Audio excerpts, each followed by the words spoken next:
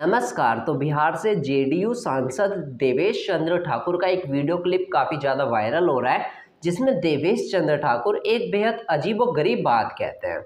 आपको पहले मैं बताता हूँ कि आखिर जेडीयू सांसद देवेश चंद्र ठाकुर ने बोला क्या? तो आप एक पोस्ट देखिए जिसमें लिखा, यादव और मुसलमानों के लिए अब नहीं करेंगे कोई भी काम। कम वोट मिलने पर बोले जेडीयू सांसद देवेश चंद्र ठाकुर, दोनों समाज के लोग कोई काम करवाने आते हैं तो आए, लेकिन चाय नाश्ता कर वापस चले जाए, उनका काम नहीं करूँगा। तो ये साफ़ साफ़ खुल्लम खुल्ला बोलते हैं कि यादव और मुसलमानों के लिए अब नहीं करेंगे कोई भी काम। तो ऐसा बोलते हैं देवेश चंद्र ठाकुर जी।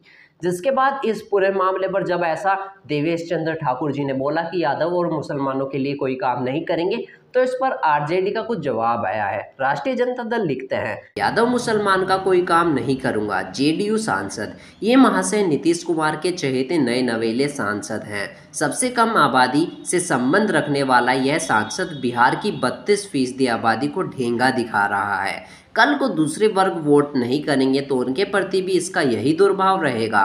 विधान परिषद चुनाव में चंद हज़ार वोट पाकर स्नातक निर्वाचन क्षेत्र से जीते थे तो वही गुमान अभी भी है। इनका यह बयान संविधान और पद के प्रति इनके शपथ की धज्जियाँ उड़ा रहा है। समाज में विभाजन पैदा कर राज करना ही प्रदेश की तीसरे नंबर की पार्टी जेडीयू का असल चरित्र है। और ऐसे लोग ही नीतीश कुमार की किचन कैबिनेट के अहम सदस्य हैं। इन लोगों को पता होना चाहिए, बिहार विधानसभा चुनाव बेमानी से जीते थे, वो भी महज बारह हज़ार वोट से।